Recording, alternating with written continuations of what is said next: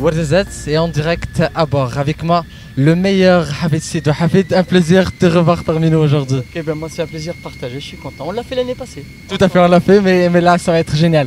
Hafid, on aimerait bien parler euh, de la différence entre l'année précédente et cette année euh, du festival de Marrakech de cinéma.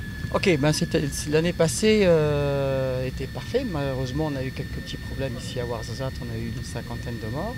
C'était quand même assez difficile à, à faire un festival en sachant qu'il y avait des morts. Mais cette année, alhamdoulilah, tout se passe très très bien.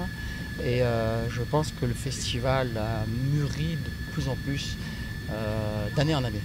Hafid Sidou et cinéma canadien. Canadien. Bah Alors moi, c'est un grand cinéma parce que j'ai eu le privilège de pouvoir rester euh, un mois à Montréal où j'avais tourné pour le jeune réalisateur. C'est son premier long métrage. On n'avait pas beaucoup de budget, c'est un tout petit budget. Je crois qu'on avait avoir 500 000 dollars à peu près.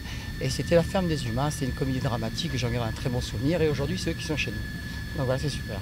Sidou, si je te dis de, de dire quelque chose sur cinéma marocain, de parler sur cinéma marocain, qu'est-ce qu'on peut dire? Est-ce que ça marche, ça marche pas?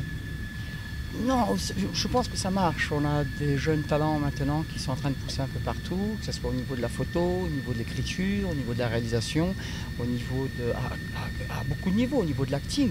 On, on est en train de se trouver, je pense, un vrai cinéma en ce moment. Un petit mot pour les gens qui vous regardent sur le monde info. Allez au cinéma. Désactive les flops. Eh ben merci.